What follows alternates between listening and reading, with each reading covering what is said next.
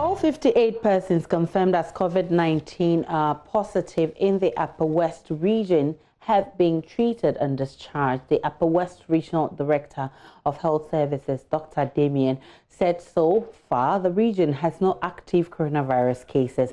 Dr. Damien was addressing members of the reconstituted Upper West Regional Coordinating Council in Wa. The Upper West region recorded its index case of COVID-19, the disease caused by coronavirus, in March after a 42-year-old Ghanaian returned to the region from a surgeon in Egypt and some European countries. Since then, the region has recorded 57 other cases, some of whom were kept on self-isolation and others treated at the various holding centers in the region. Acting Upper Regional Director of Health Services, Dr. Damien Pungyiri, disclosed though the region recorded 58 positive cases of COVID-19, all of them have not been treated and discharged.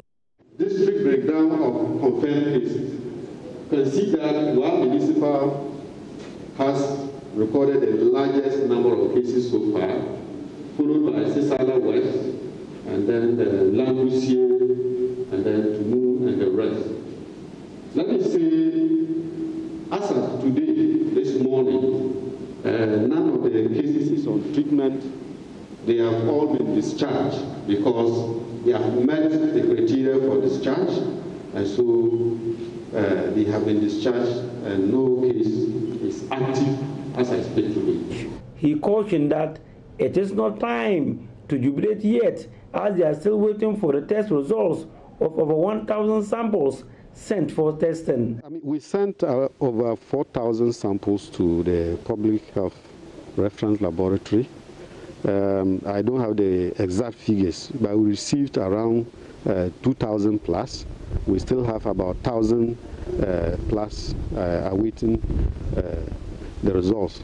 So it is when those results come that at least we can tentatively say all the tests that we've conducted uh, and the screening that we have done, they are negative. Until that is done, uh, we're still holding on for, for those results to come. Dr. Damien then opened up on the challenges they face in the fight against the deadly disease. If we identify contacts, especially for those who cannot self-isolate or cannot quarantine at home, we have designated places that we're supposed to take them to. But when they get there, they have to be fed, everything provided for them. Whose responsibility is it? We have no money to do that.